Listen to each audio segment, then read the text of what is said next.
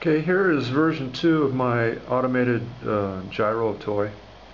And in this one, I added a potentiometer to the uh, Arduino so that I could vary the uh, amount of time it delays or just sits up here uh, from 0 to 2 seconds. so right now it's sitting on 0 um, and uh, if I started at zero nothing happens. So I will change it and set it up to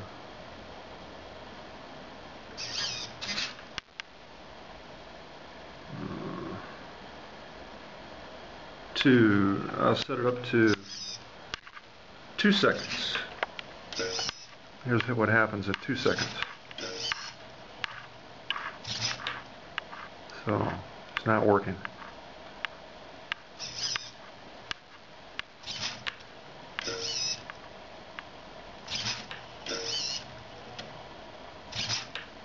Gets out of sync.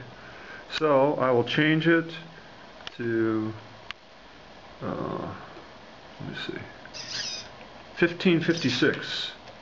So one and a half seconds. Working a little better, but still stalls. So I'm going to reduce it a little more. 1.3 seconds.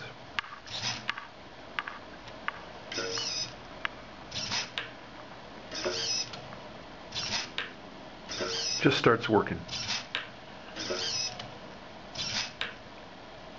Really slow cycle. Now I'll gradually reduce it.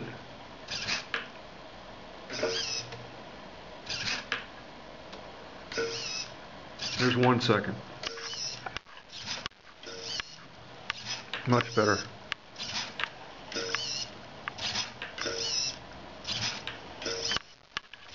Keep reducing it. 9.9 seconds.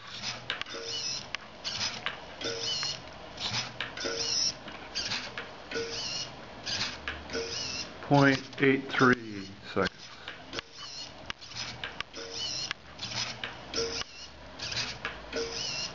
Point six nine.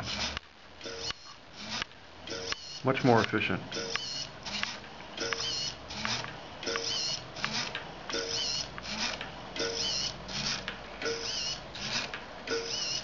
Point five seconds.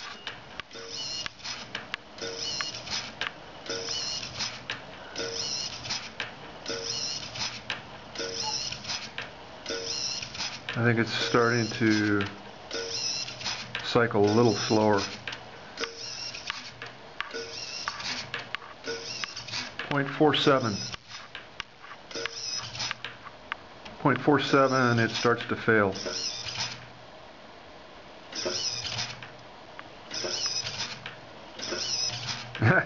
Actually re reverse direction and now it's faster than ever.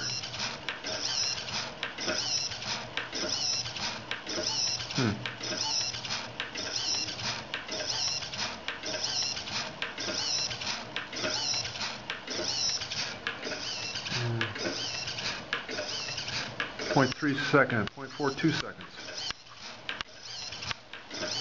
That's the fastest, except at reverse direction.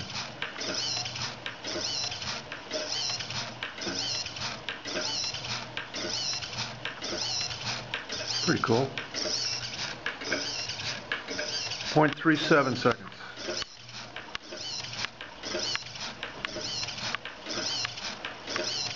Wow, it's cooking now.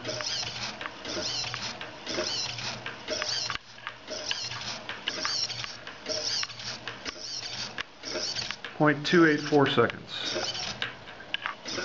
And starts to fail.